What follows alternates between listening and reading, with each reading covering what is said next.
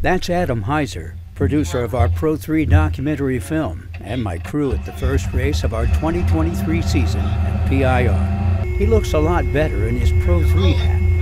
Most people do. I qualify 25th, as usual, near the back of the pack, but haven't lost a step off season.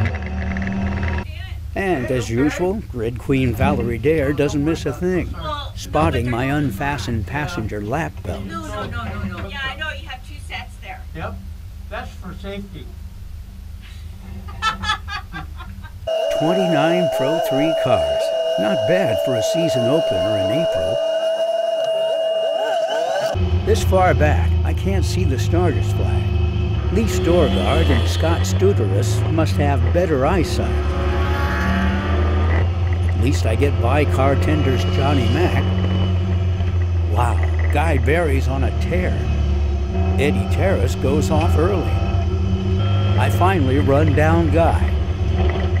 And Lee. Scott Studeris proves tougher. But no contact, and thankfully I didn't flat spot the tires.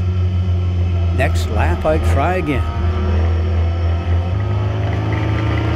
Third time's a charm.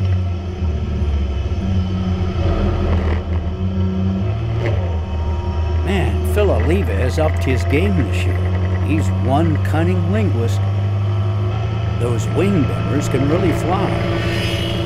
I finished 21st of 29. Top four, Matt Lowell, Scott Eckert, Kyle Byers, and Andrew Newell. Champ Corey Peters is 10th.